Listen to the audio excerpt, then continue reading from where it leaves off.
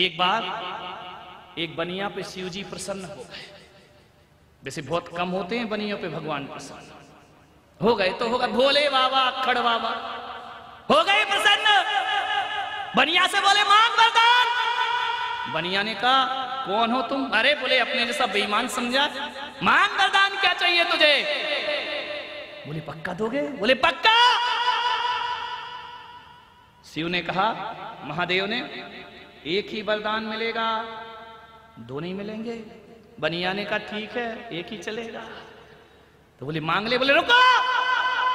इतने जल्दी सलाह लूँगा पहले। एक घंटे की मोहलत देता शिव जी ने कहा। घर गया। माँ बैठी थी आँगन में। माँ से कहा शिव जी प्रसन्न हुए हैं। माँ ने कहा, चुप तुझ जैसे बेईमान पे भगवान प्रसन्न होगा। अरे बोले हो गए। एक घंटा बर्बाद मत कर मेरा। तो बोले, क्या मतलब? बोले, उनने एक वरदान देने को कहा है। तो बोले, मांग ले। तो बोले, बता माँ, क्या वरदान मांगू? बोले, बेटा, मेरी उम्र अस्सी साल हो गई, जन्म से अंधी हूँ। शिव जी से कहना, दो आँखें दे दे। है बनियाने का दत्त तेरे की गुड़िया अस्सी साल तो देखा नहीं, अब बीस साल देख के तू करेगी क्या? है तेरा तो स्ट्रक्चर ही खत्म हो गया।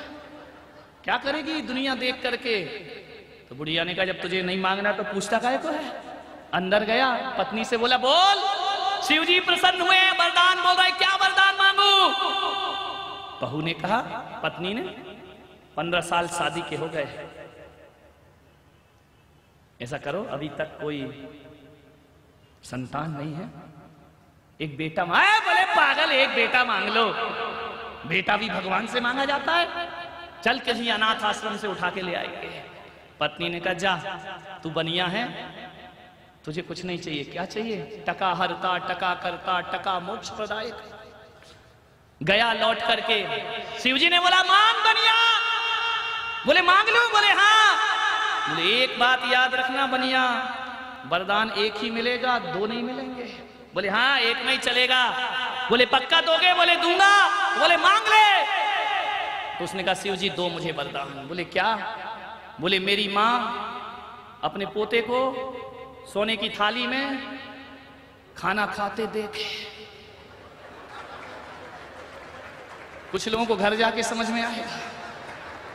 मेरी माँ एक ही वरदान, अपने पोते को सोने की थाली में खाना खाते देखे।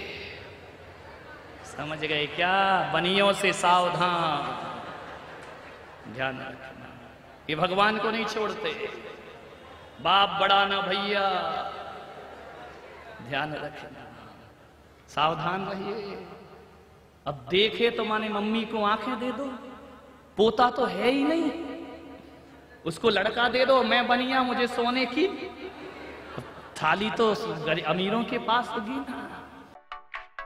सब्सक्राइब करें टोटल भक्ति को। अब हमारे वीडियोस को सबसे पहले देखने के लिए बेल आइकन को दबाना ना भूलें। इस वीडियो को लाइक और शेयर ज़रूर करें। आप हमारे चैनल को सब्सक्राइब भी कर सकते हैं।